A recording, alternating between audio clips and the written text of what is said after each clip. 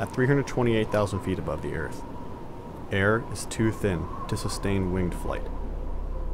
Beyond this boundary, known as the Kármán line, space begins.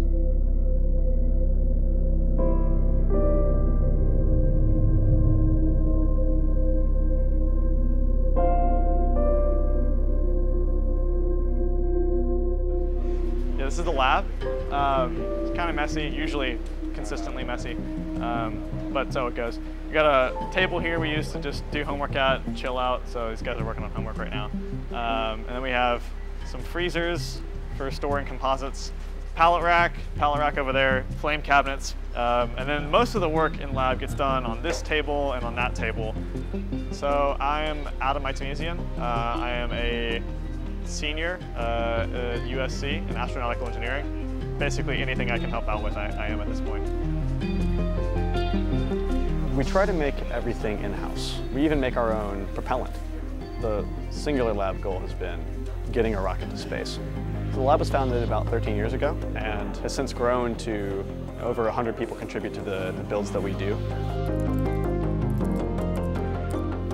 Really, our goal is to be the first undergraduate organization to hit the Kármán line. Um, with that, we need to prove that we actually hit the Kármán line. And in order to do that, we need data. And data is my job. Yeah. Um, there are hardware sheets though in the GitHub. But like, I'm worried that it's gonna like be out of the nose cone and like hamster itself. There's other teams out there trying to do it, and more power to them, but it, it feels almost like a space race in that it's so close. is any other student group trying to get the space. A lot of other student groups are trying to get the space. I mean, this was once the task of nations. My name is Peter Eusebio, and I'm the lead recovery engineer for the USC Rocket Propulsion Lab. So far, we've gone about halfway there with Fathom 2, which was our last high-performance vehicle we launched last year. Now we're moving to a space shot vehicle, Traveler 3.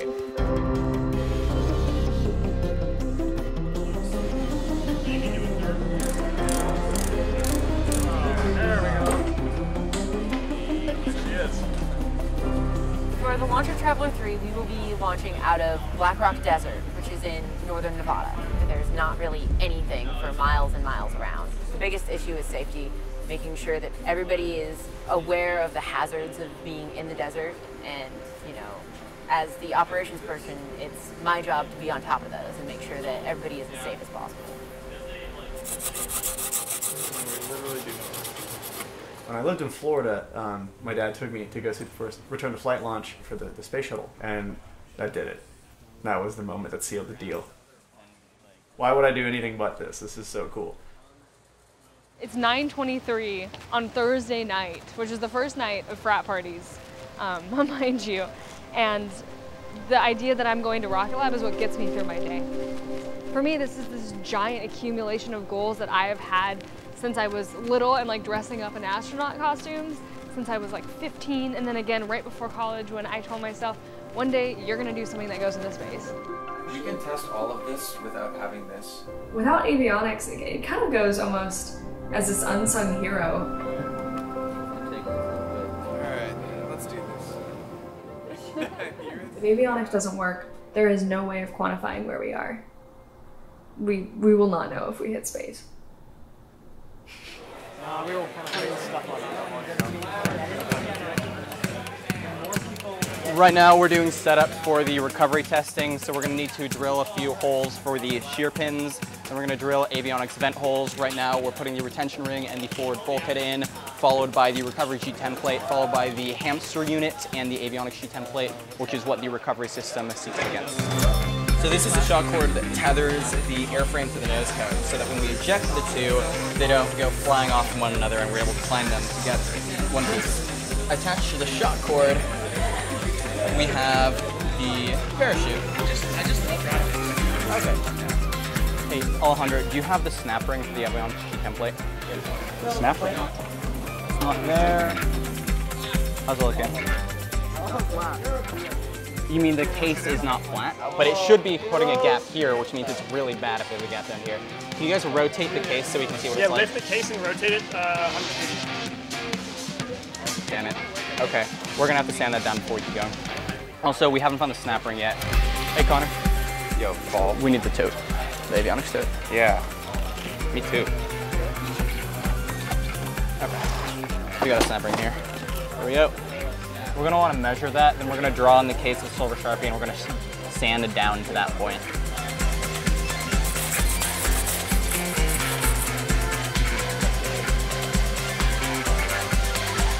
Yes, got it? I don't have it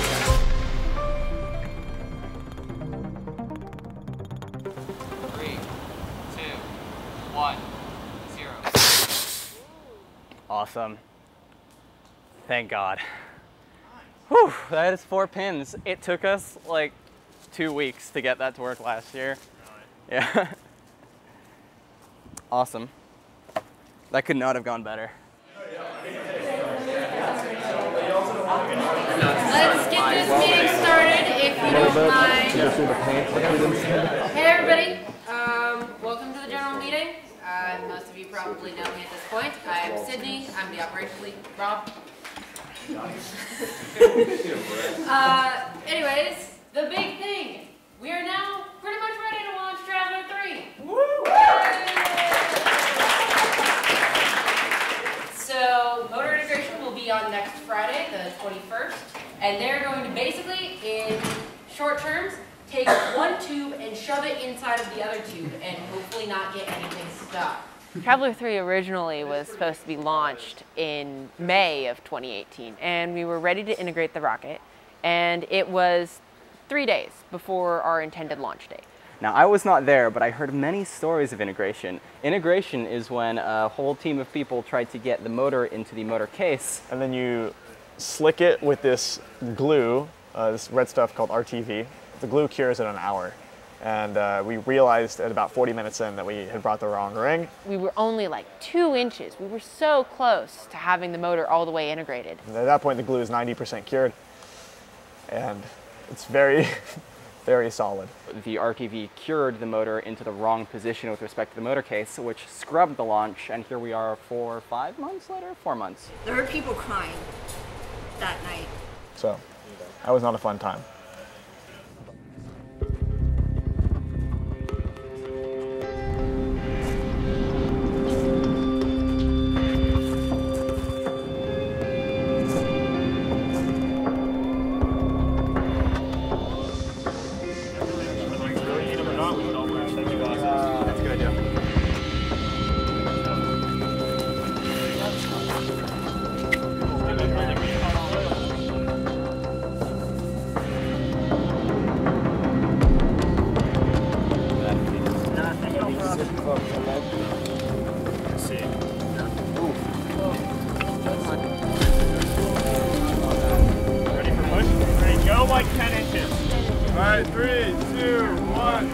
Oh God, Brad's still not. Yeah, I mean, it's got two arms and two legs. There's a little bit of table humor for you guys. Let's go. Come on, close, two, one.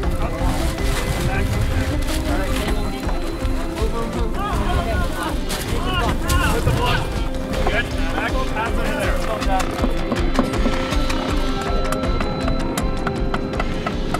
Okay, what's uh, 10.75 minus 1.5?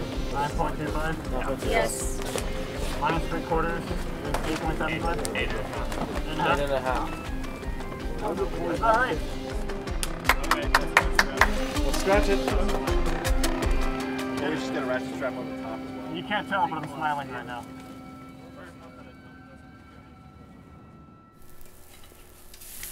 Avionics is definitely in crunch time, as we kind of tend to be as we get closer to flight. Really, the next few days for me are going to be me debating how many all-nighters we're going to have to pull, um, which is totally fine. We just need to make sure that everything is as redundant as we can make it, and that all the data that needs to get there does get there. Um, so now here I am, stress baking pancakes on Sunday morning, and gonna get back to it shortly, I guess.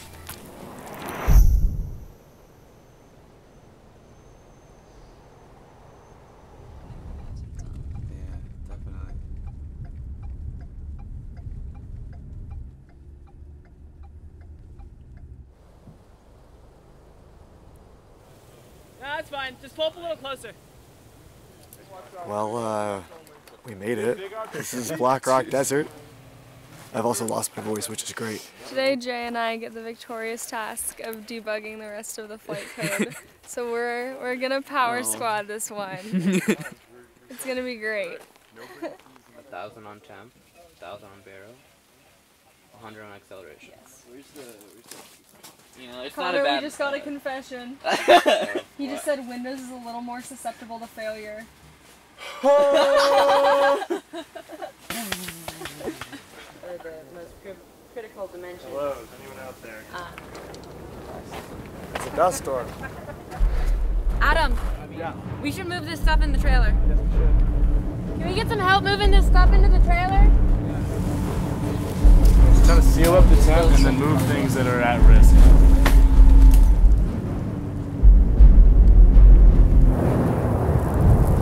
Clean packets and check if clean. Um, and then confirm max altitude is being written because it was a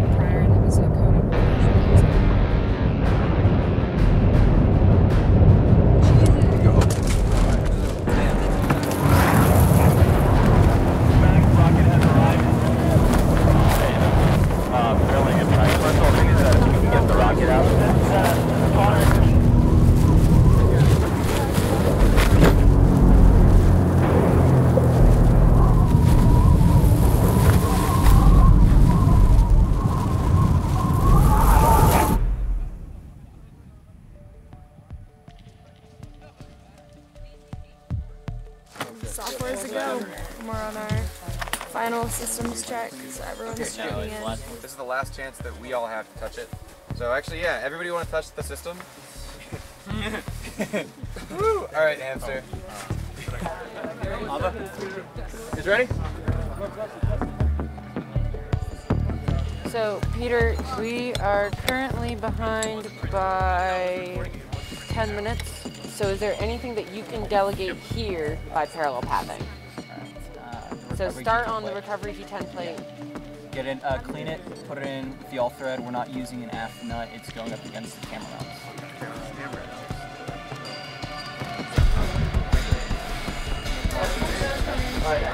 Um, I'm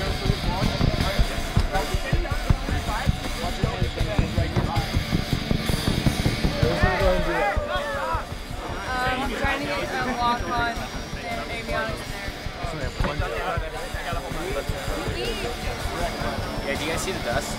Oh my. We have one now. We have to go. All right, wait, wait. Reset it. Reset it. All right, here. Sorry.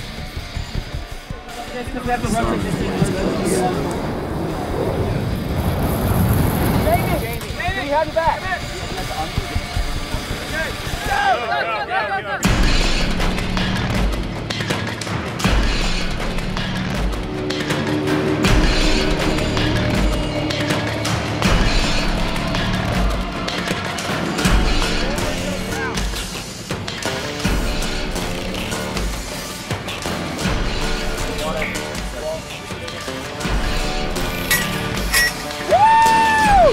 Uh, don't go in until I get the go ahead. I gotta put it in the station.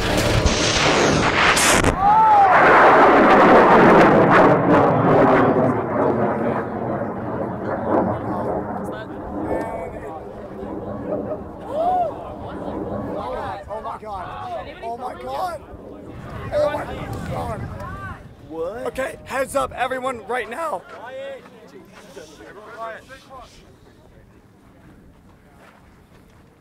That's a full burn. That's a full burn, but it, it's spiraling, which is normal. Okay, guys. That's a full burn. Adam, we have no data. They launched without avionics to go ahead. So we have no data. Well, I don't know. Maybe not. Well, okay, guys. Um, since it was spiraling towards the end, uh, it should be just past and directly over us that way. So again, heads up. I don't see a parachute. If it's gonna make it, it will already be on its way by now. What? Gee. Uh,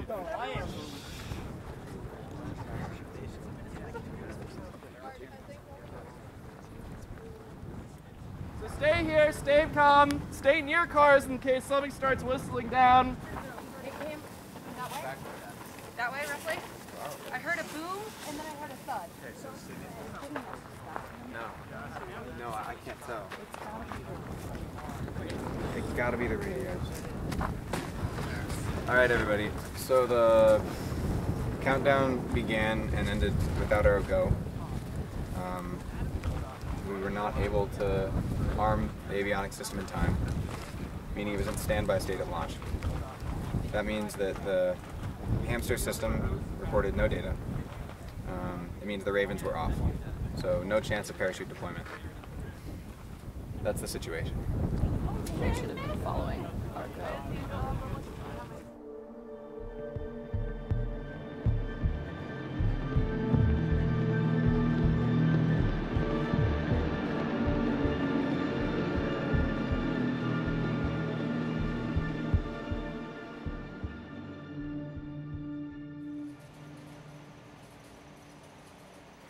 Ultimately, that day we lost Traveler 3.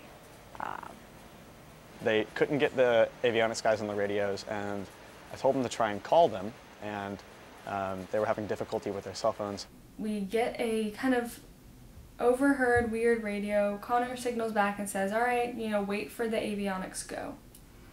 Um, what was heard, we believe, is the the pieces that were heard by the tower team were, "Okay, avionics go." If we'd done a proper go no go poll or the launch status check, it wouldn't have happened at all because avionics would have given a no go. And all of a sudden, we hear a countdown that starts from five.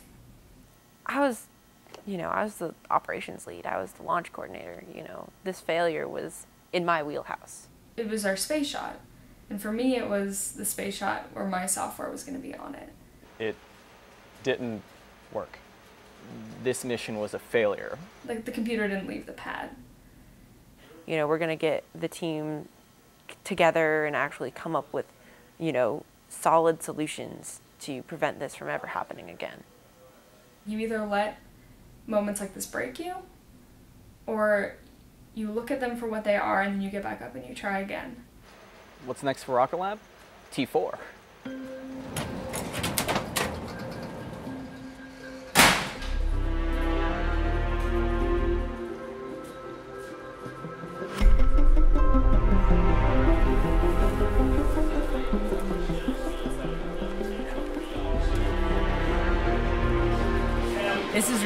Is to be able to actually like start from the beginning again.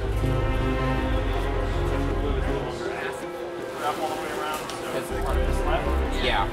It's a fresh start.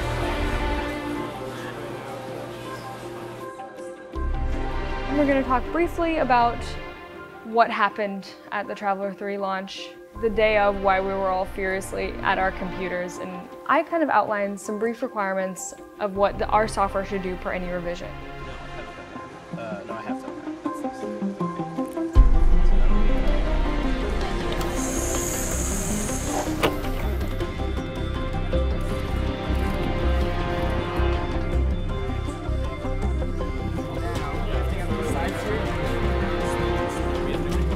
In rebuilding the system, we were able to fix a lot of issues that we knew we had coming into the Traveler 3 flight. It's exciting because we kind of got to do like a free update.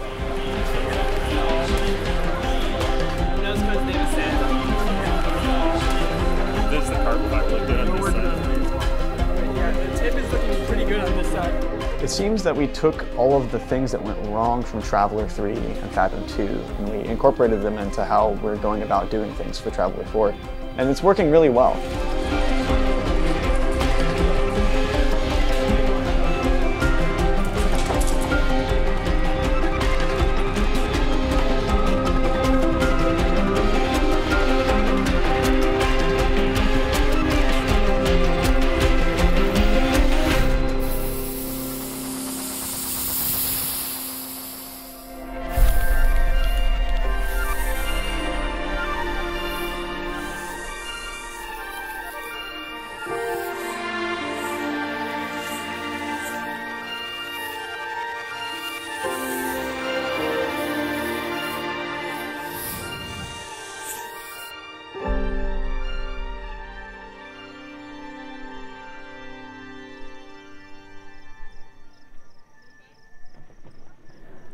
Not only is rocketry kind of built on this basis of a bunch of I told you you couldn't do that kind of science and experimentation, but to do it at a collegiate level and to reach space at that level. I mean, it, it's this embodiment of just taking the impossible, grabbing the reins, you know, taking everyone's technical skill set and building something and defying those odds.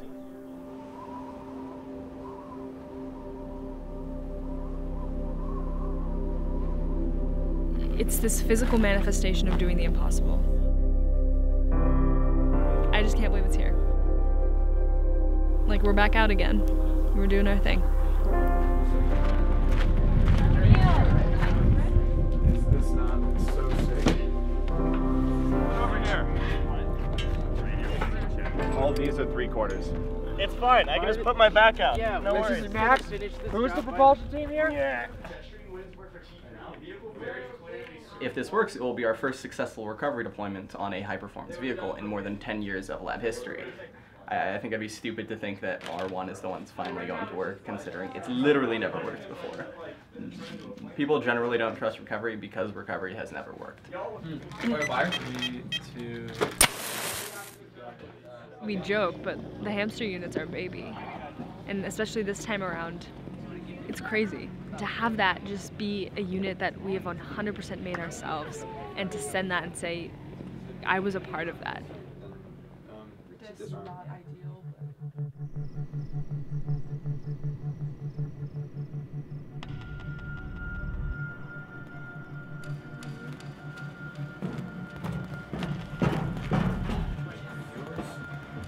By me. So, uh, this is it. I don't think I need to explain how excited and terrified we should be. I am powering the hamster unit on. Peter? This is Connor checking in. We have successfully handed the unit off to recovery. Oh, Over. Avionics unit going in. Yeah, I'm gonna detention it in here. But the, but the RP might This is Max addressing step 14. We are ready to receive rockets. Whoa. Uh, we are good to go. Avionics is go to go to the pad. Over. All right, Neil here. The uh, truck is rolling out right now. Over. Remember, we're inserting the rocket aft end first. We're going to keep the Traveler logo in the top left corner. Slide! Stop. Perfect, stop. Excellent. This is Max. Rocket is fully inserted into the tower. Over. T minus 18 minutes. Uh, good to raise the tower. Over. Connor. Uh, we're going to proceed with arming the avionics. Confirm the air and range are clear. This is Dennis. We are now beginning our go halt checks. Peter, is recovery go? This is Peter. Recovery is go. Over. Just a general heads up. We're at like the upper limit of our wind tolerance. Over. Connor, are the avionics go?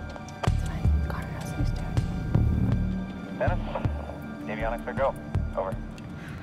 We are go for launch.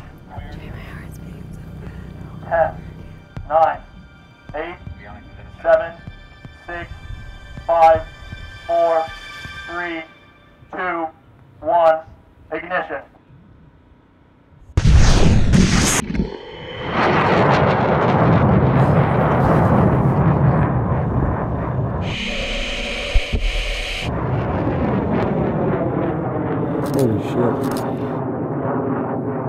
Holy shit. Receiving packets. Avionics is nominal. Oh my Carrying altitude, 6 kilometers, 8 kilometers, 9 kilometers, th- 13 kilometers, 22 kilometers, uh, 27 kilometers, 30 kilometers. Uh, we are appearing to start to lose lock. Over. It should not have wiggled or spiraled nearly as much as it did. Um, we appear to be getting pieces of packets. Over. Oh my god.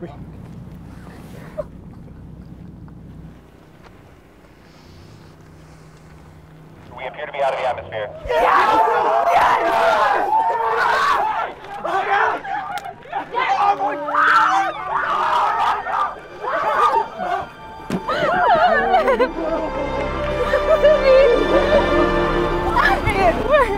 Fire, where is?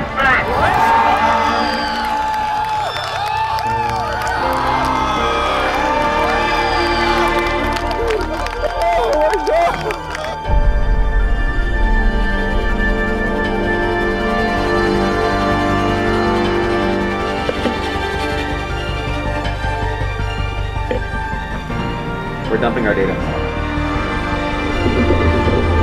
Coming down, Mr. Shoots. Drop recovery.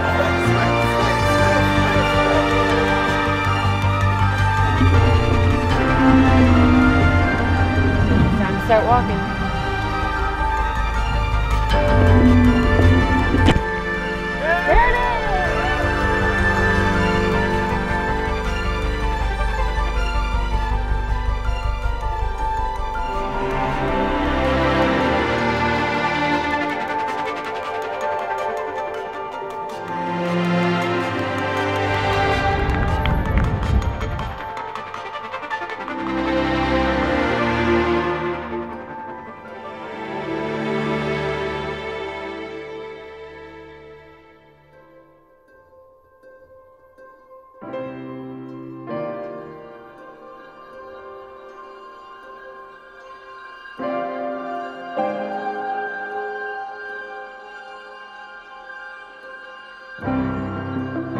Very rewarding to see that the thing that I invested a uh, probably excessive amount of my time into um, actually paid off in the way that I had hoped it would every single year that I was there. It's this one little moment of did everything work perfectly together at this one time? And to say that, you know, we got together, built everything from scratch, and put all the pieces together and made it, like, it's like a rocket science high. Like, that's what we live for. It's one of the few things that I think in my life I can say I would go back and do it all over the same. The entirety of lab history was leading up to this point. Traveler 4 was the culmination of more than a decade of blowing up rockets, and we just happened to be there to push it over the finish line.